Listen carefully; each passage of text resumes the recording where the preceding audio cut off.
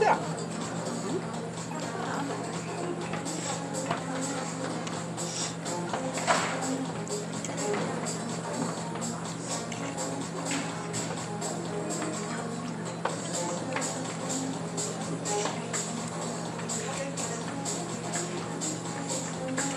Good boy.